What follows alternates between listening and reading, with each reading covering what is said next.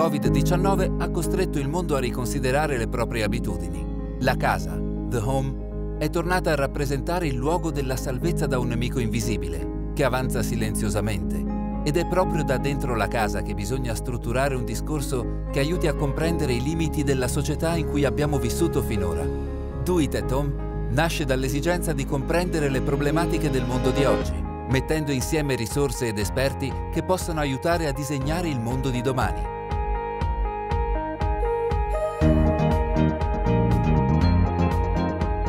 Grazie a tutti di essere qui. Eh, io sono Enrico Santos, eh, dall'altra parte del canale c'è eh, Nicola Marino. Eh, il concetto di Do It at Home è iniziato circa tre settimane fa quando Nicola mi ha chiamato per essere il primo speaker di questo, di questo concetto, di questo podcast.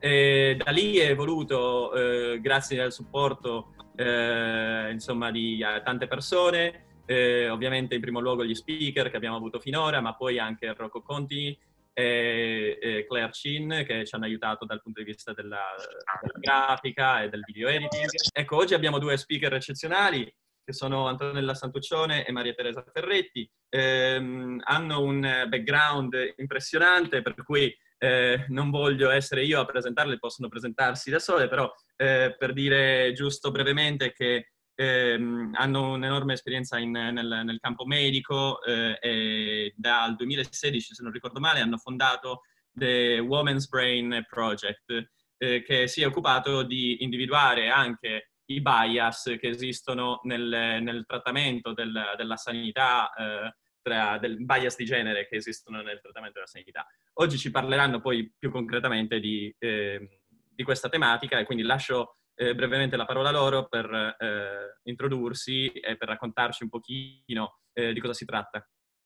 Grazie.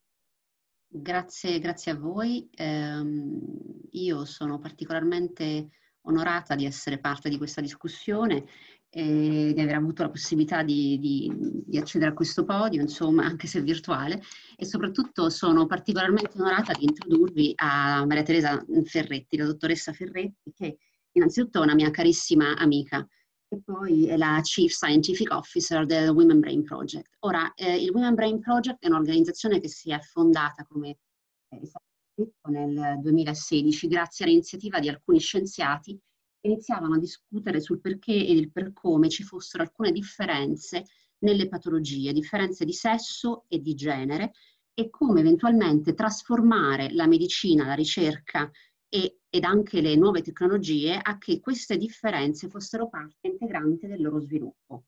Siamo partiti come quattro amici al bar, diceva una canzone, e in realtà non eravamo al bar, ma eravamo sul lago di Zurigo con i nostri figli che tiravano chi a destra e chi a sinistra perché volevano tornare a casa. E, e oggi eccoci qui. Abbiamo probabilmente individuato un gap eh, molto molto importante che ha avuto una grande risonanza con eh, l'opinione pubblica e, quindi diciamo che la spinta a continuare, eh, dato che questa è un'attività che si svolge interamente pro bono, quindi eh, siamo qui eh, a dare ecco, nostro, la nostra competenza, la nostra, i nostri skills, ma eh, ehm, motivati meramente da un interesse mh, eh, a migliorare le cose. E, diciamo, ecco, questa, questa attività fatta in questa maniera è mirata ad ottenere questo cambiamento e questo risultato, che è la trasformazione della medicina e dove appunto considerare queste differenze. Stasera siamo qui perché che cosa è successo? Il Women Brain Project all'inizio di febbraio è stato già coinvolto eh, nella mm, missione mm, Covid, diciamo, quando all'inizio di febbraio una persona del nostro esecutivo, che si chiama ehm, Evelina Biscap, la dottoressa Biscap, ha deciso di partire con una missione che si costituiva qui in Svizzera per accedere a Wuhan e capire che cosa stesse effettivamente accadendo. E purtroppo Evelina, che è anche docente all'Università di Shanghai, non è riuscita ad entrare a Wuhan perché la zona era effettivamente chiusa, però ci ha ehm, dato la possibilità di avere molte nozioni di quello che stava poi effettivamente accadendo in Cina e ci ha informato sin dall'inizio. Eh, ci, eh, devo dire che Evelina è ancora, è ancora lì e continua appunto ad essere il nostro mm, mittente, se si può dire così in italiano, penso di sì, ehm, e continua a, ad aiutarci con quelle che poi sono le informazioni necessarie a gestire questa situazione ehm, anche sul territorio italiano e anche su quello svizzero. Ora, eh, quello che è risultato interessante già dagli, dagli inizi di questa avventura è che c'era un dato che veniva fuori in Cina su come le donne fossero meno affette gravemente da questa patologia e come purtroppo fossero più gli uomini a morire rispetto alle donne, purtroppo perché sarebbe opportuno che in realtà nessuno morisse. Ora, questo era il dato cinese e ne avevamo iniziato a discutere internamente. Poi, come sappiamo, il nostro paese è stato colpito fortemente da questa ehm, patologia e il dato è stato confermato anche eh, in Italia. Ora io lascerei la parola a Maria Teresa eh, che ci descriverà i dati. E, e, niente, Maria Teresa, io non ho detto chi sei, ma io lo do per scontato, cioè tu sei una neuroscienziata, sei una mia amica, l'ho già detto, sei una cofondatrice del Women Brain Project. Sì, assolutamente, eh, può, ti puoi presentare Maria Teresa. Eh, esatto. Per favore. Molto brevemente, buonasera a tutti, è un piacere essere qua. Eh, mi chiamo Maria Teresa Ferretti, sono una neuroscienziata come formazione eh, la mia passione è l'Alzheimer, in realtà, la malattia dell'Alzheimer che studio da dieci anni. E dal 2016 sono la cofondatrice e anche la Chief Scientific Officer, quindi la direttrice scientifica del Women's Brain Project. E, ehm, sono una scienziata, mi piacciono i dati, mi piacciono i numeri, quindi appena abbiamo iniziato a seguire le vicende del Covid, eh, ho subito bombardato Evelina che era in Cina per chiederle di farmi avere numeri, numeri, numeri e dati e come arrivavano, infatti abbiamo iniziato a ragionarci su e quasi subito ci siamo resi conto di questa differenza. Eh, devo dire i, il dato più forte e, che ci ha convinto maggiormente è arrivato quando eh, l'Istituto Superiore di Sanità eh, ha fornito eh, i dati italiani sui casi ehm, di infetti e sui decessi con una bellissima analisi fatta eh, separando appunto uomini e donne. Eh, questo dato in effetti era perfettamente in linea e rafforzava quello che avevamo già visto in Cina ed è il dato che stiamo riportando qua in questa slide. Um, quello che, uh, che, è interessante è che uomini e donne in realtà vengono contagiati al, con la stessa percentuale, cioè più o meno lo stesso numero di uomini e donne contagiati, però in tutte le fasce di età, tranne quella del 90 più, sono gli uomini a morire maggiormente. Uh, al 27 marzo le statistiche uh, dell'Istituto Superiore di Sanità ci dicono che uh, il 70% delle morti avvenute eh, per Covid o con Covid ehm, erano fra uomini. Questo è un dato fortissimo, in questo momento è il dato più evidente a livello mondiale. Non sono tutti gli stati a fornire dati così dettagliati come quelli um, italiani, però sta, si sta iniziando. Ehm, ed è stato per noi, eh, cioè già questo dato italiano comunque per noi era interessantissimo, però nelle scorse settimane abbiamo iniziato ad avere sempre più dati. Abbiamo una collaboratrice che è in Spagna, a Barcellona, Florencia Iulita, mi ha subito immediatamente mandato il report delle autorità spagnole, ugualmente dati quasi identici a quelli italiani. Sono arrivati qualche giorno fa i dati tedeschi uh, ugualmente in linea, quindi se, se Antonella mi mette la, la slide uh, successiva, um, in questo momento esiste un sito internet che è stato creato proprio per raccogliere questi dati. E questo è uno screenshot ed è una parziale, non vedete neanche tutto, però i paesi che, hanno, che sono stati colpiti con più casi um, potete vedere che no, non tutti, ma la maggior parte hanno pubblicato dati separati per uomini e donne e più o meno in tutti i casi il dato è sempre quello, cioè uomini e donne colpiti al 50%, 50-50, però poi fra un 60 e un 70% di morti fra, um, fra, gli uomini. Maria Teresa, potrei chiederti di commentare anche il dato qui non riportato, forse però Cesare che ci ha aiutato nella slide precedente ehm, lo aveva visualizzato, ma forse non lo vedo qui quello che riguarda il numero degli operatori sanitari eh, e della relativa infezione. Se potessi commentare questo. Sì, è interessante perché lì abbiamo un'inversione. Allora, un 9% dei casi finora trovati di Covid avviene fra gli operatori sanitari e lì um, in realtà gli uomini sono il 35% più o meno, una percentuale che cambia coi giorni, ma è più o meno lì. Quindi la stragrande maggioranza delle persone infettate che lavorano nell'ambito sanitario sono donne. Eh, quindi nell'ambito sanitario c'è un'inversione della, um, della tendenza ed è probabilmente... Ma non, ma non della mortalità. Si suppone, questi dati della mortalità non sono stati distribuiti, ma si suppone che se facciamo la statistica generale eh, di queste donne maggiormente infette comunque continuano a morire meno rispetto agli uomini.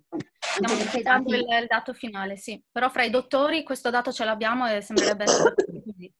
Sì, eh. Scusate un secondo, giusto una, una, nota e poi una domanda. Eh, per favore tutti mettete muto perché si sentono dei feedback. Eh, e poi la domanda invece è, um, um, è, riguardo al fatto che in genere le donne hanno una maggiore longevità eh, e quindi si sa che il Covid-19 in qualche modo ha una correlazione con l'età. E eh, qualcuno potrebbe pensare che, eh, eh, avendo questa correlazione, il fatto che le donne hanno una maggiore longevità rispetto agli uomini eh, dovrebbero essere più colpite. Quindi la mia curiosità è mh, mm, esattamente eh, cosa pensate che sia il fattore? Per esempio, le donne sono più longeve più sane, oppure ci sono proprio delle differenze anche, diciamo, fisiologiche o di altro tipo che comunque incidono in questo, in, in questo dato? Maria Teresa, vuoi commentare? Sì, sì, assolutamente. È una bellissima domanda, grazie. Quella della longevità eh, viene tirata spesso fuori per l'Alzheimer, per esempio, ma quello sarà un altro podcast di cui parleremo un'altra volta. Eh, in questo caso qua nessuno lo sa per certo, però possiamo discutere di ipotesi. Ci sono alcune ipotesi a livello proprio biologico di come funziona il virus. Prima di tutto questo virus è un coronavirus e questo dato su differenze uomini e donne è stato già visto con MERS e con SARS, era molto simile. Quindi sembrerebbe esserci proprio qualcosa nella biologia del virus che è diversa eh, fra uomini e donne. Due ipotesi in questo momento di cui si sta parlando nella comunità scientifica. Uno è il, il modo in cui il sistema immunitario risponde al virus. Il sistema immunitario di uomini e donne è molto diverso. Um, le donne adulte, giovani e adulte, hanno un sistema immunitario di solito più forte degli uomini ed è il motivo per cui tendono a soffrire di più di malattie neuroinfiammatorie e autoimmuni come la sclerosi multipla, per esempio il lupus. Eh, però ehm, con l'età questo, eh, c'è un'inversione anche qua, con l'età le cose cambiano e di recente è stato dimostrato che invece il sistema immunitario dai 65 anni in su degli uomini sembrerebbe dare una risposta più forte di tipo proprio infiammatorio, quindi le famose citochine, eh, la, uh, come si dice in italiano, tempesta di citochine, la cytokine sì, storm, sì, che è quella, sì. questa risposta infiammatoria che poi distrugge i polmoni, mh, mm, è stato dimostrato che può essere più forte negli uomini. Questo chiaramente è un'ipotesi che andrà andrebbe verificata nei, nei pazienti e nei campioni che abbiamo, però è una. E un'altra che posso citare è quella che, del recettore che il virus usa per, ehm, per, entrare nelle, per invadere le cellule, che si chiama eh, ACE2, AC2. E questo recettore è espresso sul cromosoma X quindi c'è già tutto un discorso di regolazione diversa fra uomini e donne ed è stato dimostrato a più livelli che la sua espressione e la sua funzionalità cambiano um, in funzione anche dei, eh, degli ormoni come l'estrogeno. Quindi c'è tutto un filone di ricerca che dice che potrebbe essere proprio la differenza chiave questo recettore, che è quello che fa entrare il virus eh, nella cellula. Queste sono due ipotesi possibili. Poi non so Antonella se tu vuoi commentare ipotesi a livello di, di gender, di comportamento. Ma, eh, noi abbiamo avuto una conversazione ieri con un giornalista che ci chiedeva se fosse anche addirittura una questione di eh, norme igieniche, cioè È vero. che le donne si lavino di più le mani di quanto lo facciano gli uomini. Io ho avuto un po' da ridere su questa cosa perché magari sarà forse anche vero e sarà smentita, però secondo me è uno stereotipo che poi si riallaccia a tanti stereotipi che ci sono in generale nella nostra società perché se così fosse allora avremmo che anche i bambini, che sicuramente sono quelli con le norme più igieniche e meno ehm, come dire, adeguate, eh, sarebbero i più infetti, per, dir, insomma, per, fare un ragionamento un po' logico. Da un punto di vista di, di, di, di genere, di, usi e costumi, si può parlare anche del fumo di sigaretta, se vogliamo. È stato um, anche eh, fatto accenno a questa ipotesi, ossia che gli uomini eh, abbiano fumato o fumino di più rispetto alle donne e che quindi potrebbe stare ad indicare il perché di questa maggiore mortalità in questo gruppo. Questa cosa potrebbe essere sicuramente mh, una cosa che contribuisce alla patologia. Ehm, rimane il fatto che sappiamo anche che da dati italiani, ma a qui mi, tu mi aiuterai, eh, in realtà eh, l'abitudine al fumo è maggiore tra le giovani donne rispetto agli uomini, quindi se questo fosse eh, poi un fattore aggravante avremmo che nelle giovani ragazze dovremmo avere che la mortalità si rialza, cosa che non è vera né per la mortalità per fortuna né tantomeno per, per l'infezione, il numero di infetti. Quindi insomma io penso che ehm, eh, ci siano fattori biologici dietro a questo fenomeno che stiamo osservando, ma del resto questo è confermato in tutta la medicina, non è soltanto il coronavirus. Ed è per questo che noi nel 2016 abbiamo iniziato questa attività scientifica e di advocacy, di, di, generare consapevolezza su questa cosa con chi dovesse prendere decisioni di tipo politico, sociale o di tipo regolatorio, perché queste differenze si riscontrano nella maggior parte dei casi della patologia conosciuta negli esseri umani e che a tutt'oggi non c'è mai stata una grossa attenzione per tutta una serie di fattori che neanche stiamo a discutere perché noi non andiamo a guardare al passato ma noi vogliamo migliorare il futuro. E quindi la nostra attività è finalizzata proprio a questo, a capire il perché, il per come posizionare queste scoperte per un miglioramento dello sviluppo scientifico e tecnologico. E, e, e quindi mirare a quella che noi definiamo la medicina di precisione. Ora la mia domanda è, eh, Maria Teresa, magari vuoi dire tu che cos'è la medicina di precisione e che cosa fa il Women Brain Project? Io cambio la slide per introdurre il pubblico a, al nostro lavoro ma in maniera un po' più dettagliata. Sì, probabilmente uh, forse tu hai qualche slide che può anche aiutare a spiegare il concetto, ma io inizio in maniera generale. La, la medicina di precisione si, diciamo che la, la, reazione e la risposta a quella che invece è considerata la, uh, è stata definita da Eric Topol la shallow medicine, la, la medicina diciamo un po' bassa e piatta um, ci si è resi conto che uh, in molti ambiti della medicina, oggi come oggi, non si ottengono grandi risultati, uh, i farmaci non funzionano, i pazienti non rispondono bene ai trattamenti um, e sta um, venendo su la consapevolezza che questo è dovuto al fatto che i pazienti non sono tutti uguali, molto semplicemente. Uh, questo è un qualcosa che istintivamente capiamo tutti, ma ci sta arrivando anche la scienza eh, stiamo capendo che ci sono tantissimi fattori che condizionano la risposta di un, di un individuo a una patologia e poi al trattamento. E quindi per ottimizzare eh, tutto l'iter ehm, diciamo medico, dalla prevenzione alla diagnosi al trattamento di un individuo, in realtà sarebbe molto importante capire eh, una serie di elementi che caratterizzano quell'individuo. Per noi il sesso e il genere sono il numero uno e diciamo il più facile, per questo noi lo chiamiamo il gateway eh, per la precision medicine, cioè proprio il, il portale, la porta che ti, ti, fa entrare, ma poi ci sarà eh, l'etnicità, ci sarà tutto l'aspetto genetico, eh, epigenetico, il microbioma, un discorso molto complesso, però noi pensiamo che è necessario per migliorare ehm, lo stato attuale della medicina andare in questa direzione che accoglie, cerca di comprendere e di studiare questa complessità per dare il trattamento giusto al paziente giusto al momento giusto.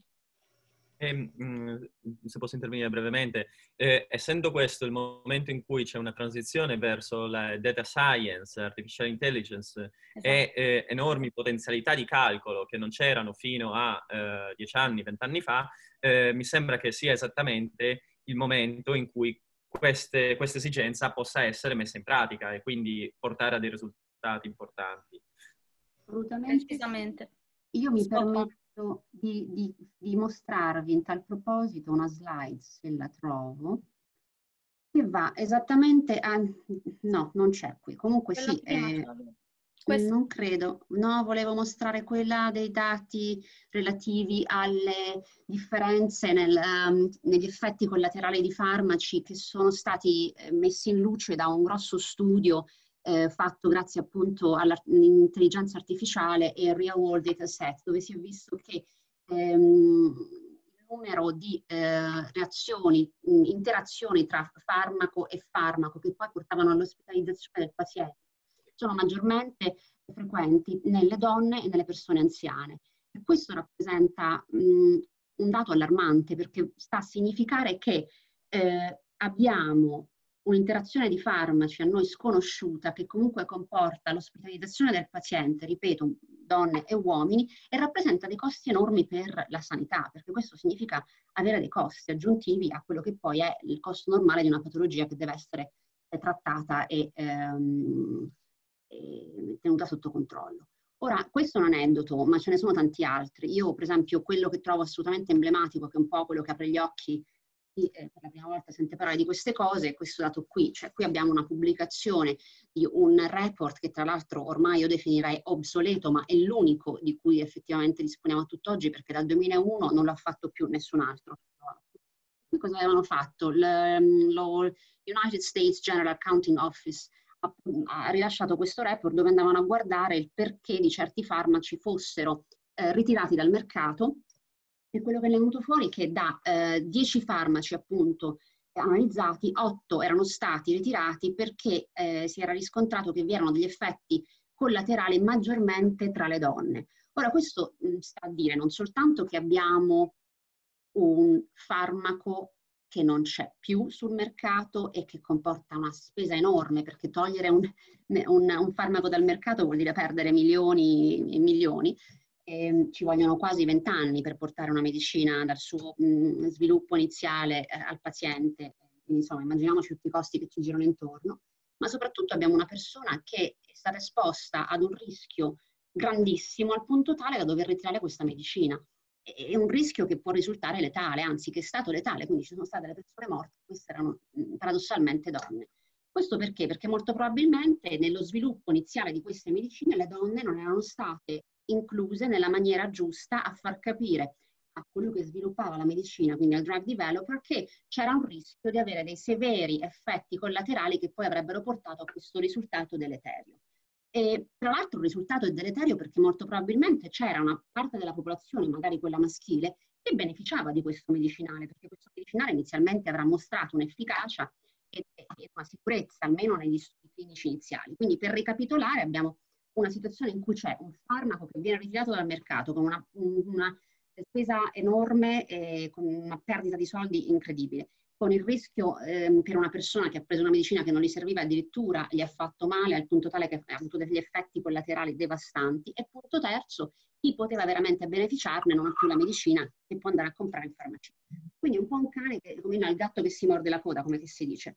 E, e noi stiamo cercando di far capire che questa è una soluzione che va risolta Ehm, un altro esempio che posso mostrarvi. Questo è un fenomeno eh, attualissimo, nel senso che ora tutte le case farmaceutiche, per spiegarlo a chi non, non lavora in case farmaceutiche, hanno un'attenzione enorme sul post-marketing, eh, controllano le medicine, cercano di eh, controllare per esempio anche nei social network e in altre eh, piattaforme per in- identificare i, i, gli effetti collaterali immediatamente e intervenire, perché appunto gli effetti collaterali ci sono, ci sono costantemente. Ehm, quindi eh, è molto importante che ci sia eh, un, un, la precision medicine, che, eh, dove, dove, le medicine sono poi orientate a chi si sa che eh, può beneficiarne, piuttosto che a un pubblico che potrebbe appunto avere de- degli effetti collaterali molte volte anche molto seri. Io voglio a tal proposito illustrarvi anche questa slide che è, è, molto informativa. Questo è un lavoro pubblicato nel 2015 da Schrock e i suoi colleghi su Nature. E lì si parla addirittura di one trial, uh, one patient trial only, cioè di uh, un clinical trial che nel futuro, come diceva giustamente Maria Teresa, magari verrà fatto proprio tailored sull'individuo, quindi cucito addosso alla singola persona. Ci sarà il sarto, che cucirà uno, che cucirà uno studio clinico ehm, in base a quella che sarà la tua fenotipicità, basata su che tipo di persona sei, sulla tua proteomica, sulla tua metabolomica, sulla, tutto quanto il tuo DNA ovviamente. Quindi in questo studio poi quello che è venuto fuori è un'analisi dei farmaci maggiormente prescritti eh, al momento, questo era il 2015, 2014 questo dato, la pubblicazione 2015, e ehm, io vi, vi, invito a guardare un attimino qui eh, in blu e in rosso. Se prendiamo per esempio Abilify, Abilify è una mh, mm, medicina che viene data ai pazienti che soffrono di schizofrenia. Ora in blu ci sarà l'omino che sarà contento perché prende questa medicina, mentre nelle altre quattro persone questa medicina non avrà alcun effetto. Se guardiamo Nexium, che è un gastroprotettore che prendiamo praticamente mh, mm, quasi tutti quanti quando andiamo ad avere dei fans o altre terapie, abbiamo che, eh, aiutatemi a contare, non mi ricordo adesso i numeri, ma siamo 1, non mi sembra 29, non mi ricordo. Con un IRA che viene dato per eh, l'artrite 1 su 4. Se guardiamo eh, Copaxone che è per la sclerosi multipla, ehm, abbiamo anche un dato impressionante, uno mi sembra fuori, 1 eh, su 18. Insomma, questo a dire, ripetiamo, che ci sono delle persone che prendono una, una medicina che non avrà alcun effetto su di loro, che esporrà degli effetti collaterali non desiderati e che alla fine della fiera comunque dobbiamo andare a rimborsare, quindi che ha un costo per tutto il sistema mh, sanitario che va a rimborsare questi farmaci che vengono prescritti a gente che non ne beneficia. Quindi torniamo al discorso della medicina di precisione, dobbiamo muovere da dobbiamo spostarci da una medicina superficiale ad una medicina precisa e questo diverrà il futuro e farà sì che la medicina sia sostenibile. Ora, tornando al Covid, e poi mh, io rilascio la parola a Maria Teresa magari per dei commenti, noi siamo parte, come dire, siamo, siamo, eh, siamo eh, non, non, so come, come, esprimermi perché devo essere politicamente corretta, perché insomma la situazione è gravissima quella in cui noi stiamo vivendo, su questo non c'è dubbio, però da una parte per la prima volta chiaro a tutto il mondo che ci sono delle differenze di sesso e genere che vanno analizzate, quindi è un'opportunità per trasformare una tragedia in un'opportunità per migliorare la medicina, quindi diciamo che è il momento opportuno per ingaggiare tutti quanti gli interessati in una conversazione sul tema. E non so come la vedete voi, tu come la vedi? No, infatti io volevo riagganciarmi al discorso dell'opportunità. Eh, faccio giusto questo commento e poi non so se magari ci sono delle domande a cui possiamo rispondere, però il, il punto che, su cui noi stressiamo è che queste differenze che esistono ehm, non sono un problema, diciamo, nel sistema, sono proprio un'opportunità, ci danno la possibilità di studiare la biologia del virus e forse di studiare anche dei trattamenti ad hoc. Quindi um, nel caso anche del, del, Covid, ma è lo stesso discorso che facciamo in Alzheimer e in altre malattie dove ancora non c'è un trattamento, secondo noi una considerazione molto interessante da, da fare è andare a vedere se i trattamenti hanno risultati diversi fra uomini e donne e fra altri gruppi, ma diciamo concentriamoci adesso fra uomini e donne, perché magari quando metti i dati tutti insieme il farmaco non ha funzionato, ma forse se separi e se individui i gruppi troverai un gruppo che ha risposto. Quindi secondo noi questo discorso della, della medicina di genere, della medicina di precisione, aumenta le possibilità di identificare eh, dei possibili target farmacologici e delle popolazioni che possano eh, rispondere, quindi proprio per trovare una cura. E in questo momento purtroppo per il Covid questo è, è, è molto attuale. Esatto. Io vorrei spendere magari due parole soltanto prima di passare alle domande su chi siamo, mm, perché forse non l'abbiamo detto in maniera molto attenta. Il Women Brain Project è, il Women Brain Project è un'organizzazione che, consiste, è caratterizzata prevalentemente dalla presenza di scienziati, eh, ma anche pazienti o, ehm, come dire, persone che ci supportano e, e, che in qualche maniera lavorano su quattro pilastri. Noi ci occupiamo dello studio delle differenze di sesso e genere su quella che è la scienza preclinica, la scienza clinica, quindi lo sviluppo dei farmaci, ma eh, anche le politiche sociali e soprattutto la parte delle nuove tecnologie, perché anche lì sappiamo che c'è un bias enorme, non soltanto nella persona che sviluppa la nuova tecnologia, dove sappiamo che le donne sono ancora non sufficientemente rappresentate, ma anche nel dataset. Tu eh, in questo Enrico ci, ci insegnerai che molto spesso il dataset è altamente biased perché viene a rappresentare una popolazione che viene studiata e se abbiamo che per lo più sono eh, white European male, quindi mh, mm, persone di etnia europea ehm, e, e, maschi, è chiaro che poi il risultato eh, dell'informazione e dell'analisi ehm, può essere applicata so, per il beneficio di soltanto questo gruppo e non di tutto il resto della popolazione. Quindi questo è quello che noi facciamo. Come lo facciamo? Lo facciamo con delle pubblicazioni scientifiche ehm, riviste che abbiano ovviamente un alto fattore di impatto. Abbiamo dei libri perché eh, facciamo appunto anche questo. Abbiamo mh, un supporto di un grande network, ma anche di advisor che sono, come dire, dei, dei luminari nel, nella materia. E poi abbiamo il nostro forum che è una, um, un evento ormai alla sua terza edizione e oggi abbiamo imparato che lo faremo molto probabilmente o tutto virtuale o ibrido quindi non ci fermiamo. La nostra idea è quella di averlo il 19 e il 20 di settembre. Originariamente era pianificato per um, essere ospitato all'università, eh, anzi all'ETA di Zurigo, dove ha studiato Einstein. Eh, noi speriamo di averlo ancora lì, nel senso speriamo che le cose tornino ad una pseudo normalità.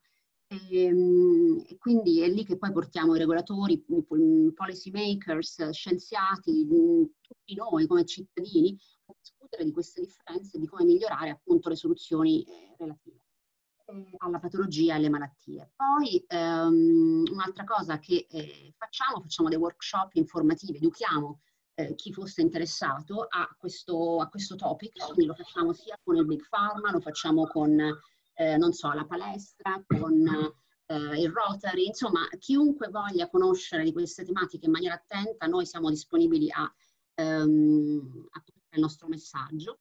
E, e, nulla, abbiamo appunto ambasciatori, abbiamo Um, vabbè, siamo seguiti ovviamente su Twitter, questi sono nati un po' vecchi in realtà, ma abbiamo un grande numero di follower, abbiamo una serie di piattaforme sociali molto, molto. Eh, qui eh, sono le coperture eh, della stampa e abbiamo avuto il coverage, insomma, eh, su riviste piuttosto importanti e continuiamo ad avere una forte attenzione perché è un argomento molto, molto interessante. Eh, questo è il nostro advisory board dove abbiamo persone un po' da tutto il mondo. Noi abbiamo anche ne siamo molto fieri, una collaborazione con un ospedale in India che è dedicato prevalentemente alle donne, eh, alla salute mentale delle donne, ma anche alla salute in generale, eh, perché appunto una donna in India abbandonata su strada avrà non soltanto una malattia mentale, ma anche tante comorbidità eh, che mh, mm, qui eh, per fortuna non è realtà. Però insomma per dire qual è il nostro respiro, mh, mm, India, United States, Canada, ehm, eccetera, eccetera. E poi abbiamo degli ambasciatori che sono delle persone eccezionali, c'è Sofia che è la nostra eh, ambasciatrice più mm, powerful, diciamo.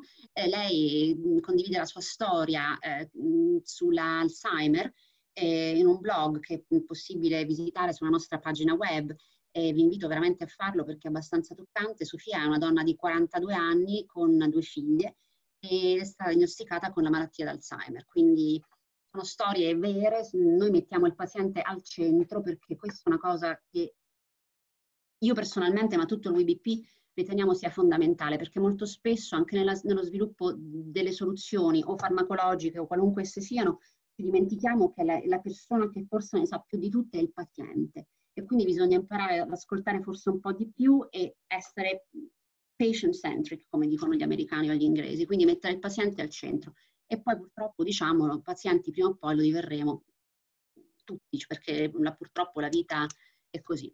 E detto questo io finirei perché non penso di aver dimenticato nulla. Ho dimenticato qualcosa Maria Teresa? No. no. Io ringrazierei molto per tutto quello che, che ci avete raccontato fino ad ora e poi sottolineerei appunto il fatto dei bias nei dati, eh, siccome è stato menzionato da Antonella, è un problema serio su cui tanti lavorano. Ehm, qualche tempo fa si era scoperto negli Stati Uniti che per esempio delle ricerche sul breast cancer, quindi il cancro al seno, ehm, eh, funzionavano relativamente bene, i predittori, i classificatori creati con l'intelligenza artificiale funzionavano bene sulla eh, popolazione di donne bianche, mentre non funzionavano eh, affatto sulla popolazione nera, quindi eh, c'era un problema etnico lì. Eh, esistono anche tanti altri bias che stanno venendo appunto studiati ed è importante avere una consapevolezza di, eh, del, delle varie dimensioni in cui questi bias possono essere creati. Quindi mi è piaciuto moltissimo il fatto che il bias nel genere è un gate per anche identificare tutti gli altri. Certo, certo. Noi eh, siamo ambasciatrici della diversità nello sviluppo delle soluzioni, cioè la diversità poi è sfaccettata in mille cose e, e giustamente il sesso e il genere sono il punto di, la porta d'accesso, poi tutto il resto. Esattamente. Eh, vorrei eh, dire che già nella chat qualcuno chiedeva quando sarà il forum, quindi immagino che tra nell'audience eh, ci sia molto interesse. Eh, il 19 e il 20 settembre, da quello che eh, ho capito. E, ehm, e, niente, quindi vi ringrazio per eh, aver presentato questo importante topic. Lascio il ehm, microfono aperto a chiunque avesse domande e poi possiamo eh, insomma elaborare una chiacchierata tutti insieme. Ok Enrico, io eh, colgo giusto l'occasione eh, facendolo con te assieme agli altri per ringraziare eh, tutti anche della presenza. Un, un, appunto molto molto semplice, cioè quello di eh, fare in modo che questa conversazione possa diventare uno spunto per collaborazioni poi eh, future, così come ci siamo detti eh, più volte con Antonella. Adesso l'Italia credo abbia bisogno, quanto mai prima, di una struttura scientifica che detti quello che è la strada verso il futuro. Quindi ho visto anche nell'elenco elenco eh, tanti amici ricercatori da ogni parte del mondo. Quindi eh, facciamo gruppo e dopo, diciamo, dopo questa considerazione io lascerei, così come detto da te, il, il microfono a chi ha interesse eh, a porre domande. Ecco. Quindi grazie ancora.